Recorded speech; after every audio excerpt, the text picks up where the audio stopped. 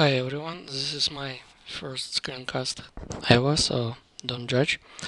Uh, I'm going to explain issue with PDF bloating size real quick.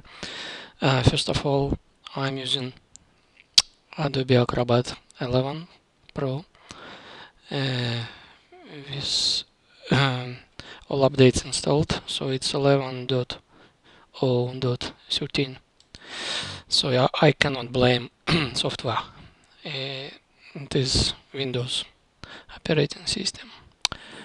Okay, so I created PDF, which is pretty simple.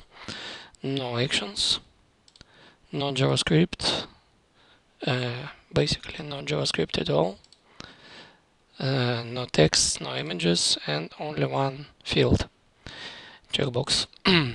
So um, size of this file is 8 kilobytes, which is reasonable.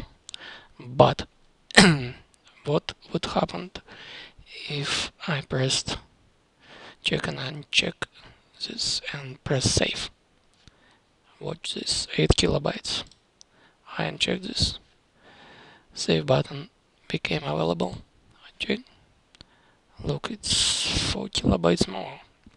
I would say it not much, but uh, considering that its file in this file initial size was 8 kilobytes, it is half of size, 50%.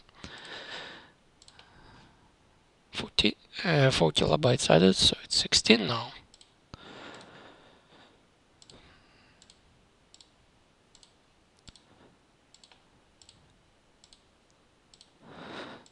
So, as you can see, mm,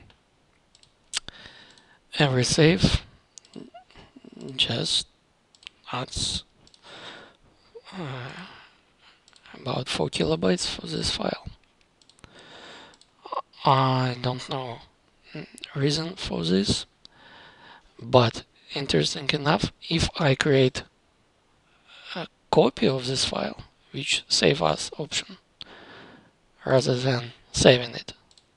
It all of a sudden becomes 8 kilobytes again.